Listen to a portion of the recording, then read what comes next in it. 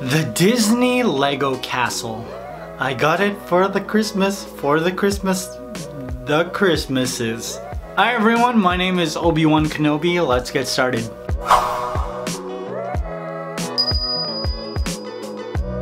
Now before we get into the video, I just want to remind you that there are links in the description box so that you can donate to help fight the wildfires in Australia. Koalipops is named after koala bears because of my love for Australia. Every little bit helps, so if you can, please donate. Now this isn't a tutorial video, I just wanted to share with you my Lego castle and I thought it'd be fun to watch. So here is my time lapse.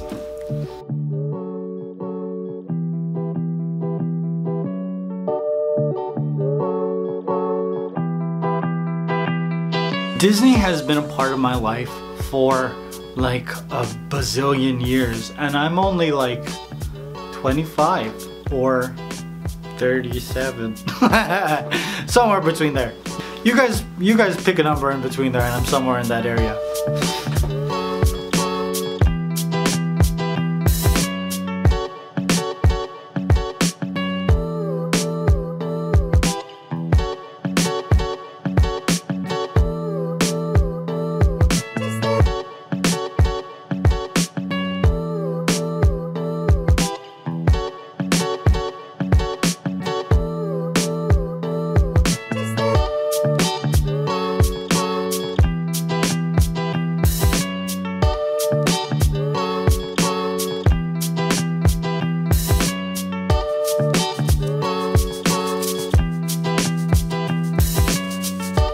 Watching that blue background with the silhouette of this white castle go up was one of the most magical things growing up. I remember watching The Lion King, I remember watching Mulan and Pocahontas in the theater. And I was so young and so excited that I would talk through like the entire movie, like kids do. And it didn't hit me till later why my mom kept going, shh, shh, you gotta be quiet. now as an adult, I want to turn to those kids and be like, shh, quiet, we're watching a movie.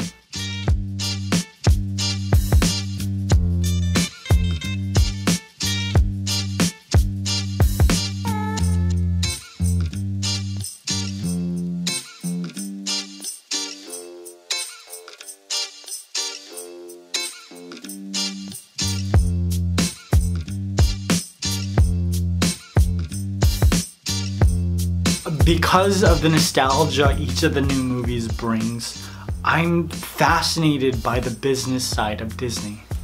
The studios create movies, then the theme park realizes that this character is beloved and they should turn it into a ride. And then there's a popcorn container that looks like the Millennium Falcon because everybody loves the Millennium Falcon. And there's an apple that looks like Maleficent because Maleficent's bomb. There's so much synergy between so many different elements that the Disney Corporation owns. Theme parks, movies, television, and even like ESPN gets to debut trailers because they're part of the Disney family.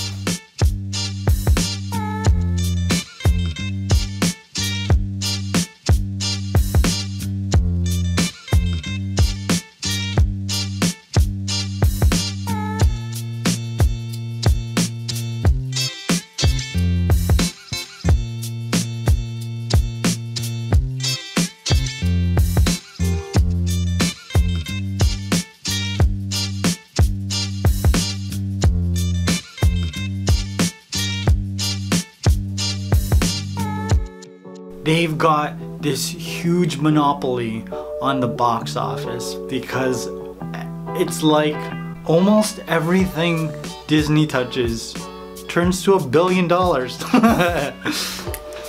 well, except for Penguins, that only made seven, but that's okay.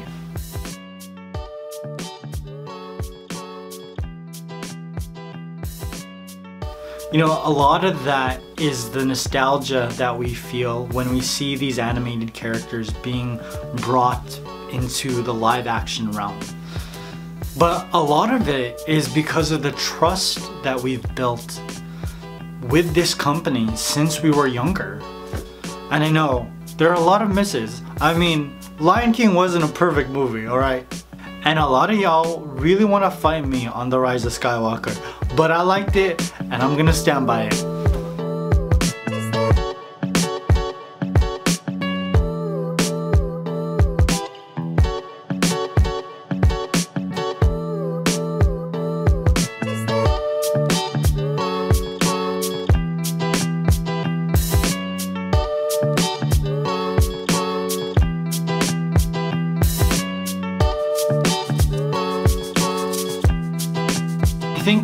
That what Bob Iger and Kevin Feige have been able to accomplish with the Walt Disney Company and Marvel will be remembered in such a profound way, the way that we remember the creation of Marvel characters with Stan Lee.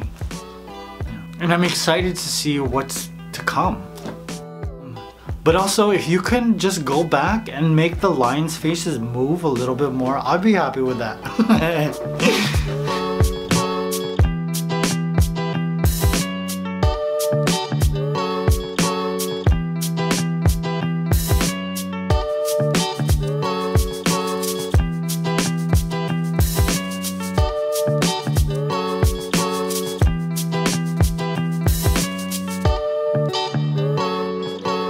My favorite part about this castle is all of the tiny details that represent so many of my favorite beloved Disney characters and movies. The lamp from Aladdin, the two frogs from Princess and the Frog, Sleeping Beauty's bed, the rose from Beauty and the Beast, and even a lock of hair and a pair of scissors from Mulan. Crazy. I was very fortunate to get this castle for Christmas. Um, I wanted to buy it for myself, but the price tag, ooh, it's just too high. So I was ecstatic to receive this as a present. Yeah, oh, it was, it's glorious.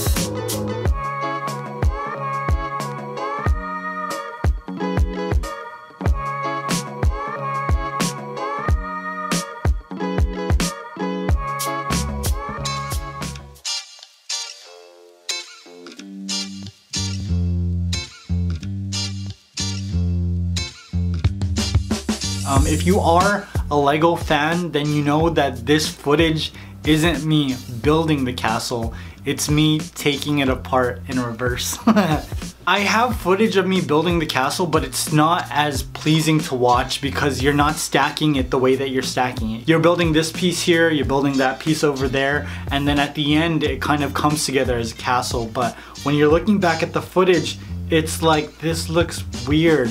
What? Where does that go? Okay, that's not fun to watch. But because I was able to take it apart the way that I thought would be pleasing to the eye, it looks amazing when I'm putting it back together. But in actuality, I'm gonna have to rebuild it again.